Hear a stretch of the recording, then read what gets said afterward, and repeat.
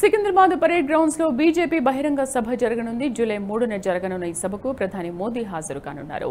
ఇందుకు సంబంధించిన ఏర్పాట్లను కేంద్ర మంత్రి కిషన్ రెడ్డి పరిశీలించారు. బీజేపీ రాజ్యసభ సభ్యుడు లక్ష్మణ్తో పాటు బీజేపీ రాష్ట్ర నాయకులు కూడా ఏర్పాట్లను పరిశీలించారు. బహిరంగ సభ స్టేజ్ను క్షుణ్ణంగా పరిశీలించారు. భారత్ మాతాకి జై అనే నినాదాలు చేశారు. స్టేజ్ పై బీజేపీ జెండాను కేంద్ర మంత్రి కిషన్ రెడ్డి కట్టారు.